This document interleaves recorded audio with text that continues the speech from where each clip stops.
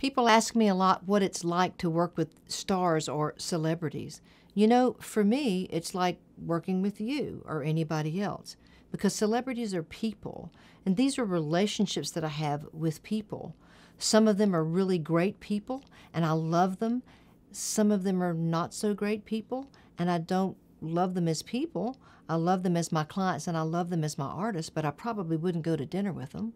And so the bottom line is Artists and celebrities and stars are people too. They put their pants on the same way you and I do, one leg at a time, and sometimes they're really hungry to be treated that way, like a person. Always remember the demands on other people sometimes really get unrealistic. So, celebrities are people who sometimes have to live in bubbles and are protected for good reasons, mind you, but also being kind and understanding who they are sometimes is the most important thing that I do. I'm always honest because I think the truth works, and keeping that part of the relationship solid and grounded is the single most important role I think I play in their lives. So, working with celebrities is great, but working with people is even greater.